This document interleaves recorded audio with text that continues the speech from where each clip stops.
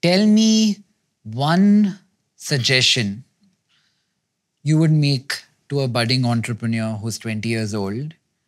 What should he do in the entirety of the conversation we had? One low hanging fruit he should start a business around.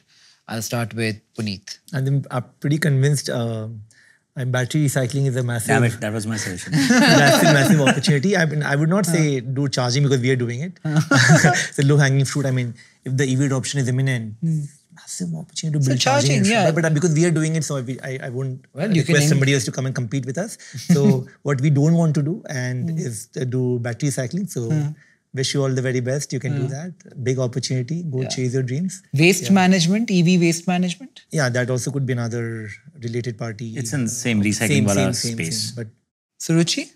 I'm genuinely thinking about setting up uh, EV charging at our offices, but with the hopes that eventually the electrons may. We produce a lot of hydrogen when we're testing. We have like a demo plant, it produces 10 to 25 kilos. That, that's a sufficiently large quantity of electricity as long as we get a good enough uh, fuel cell to convert that to electricity. Maybe you should set up one charging facility in every industrial complex. I feel like it makes a lot of sense because there is a lot of off gases that don't always get consumed, testing, downtime, etc., etc., and, and that'd be just enough. There are cars in Jamshedpur that drive people around. You can't really walk. It's a huge plant. Seems like a wonderful opportunity. Chetan?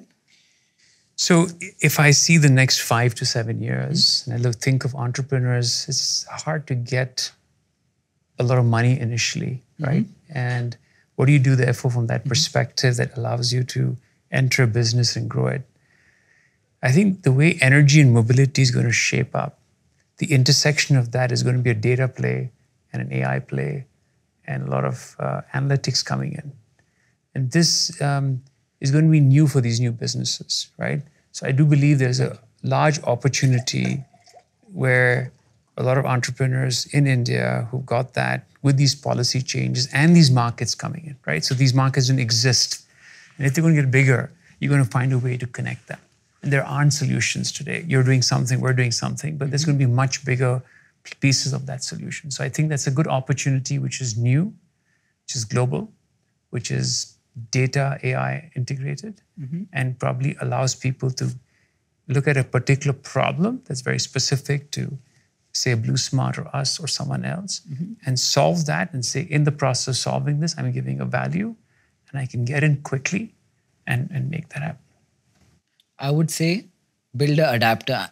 I'm not knowledgeable here, so I'm right. I'm writing like Marvel comics while I'm saying this.